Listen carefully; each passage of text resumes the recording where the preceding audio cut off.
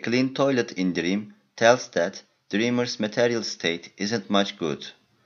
But a dirty toilet covered with feces around has a good meaning of much income from work and even wealth.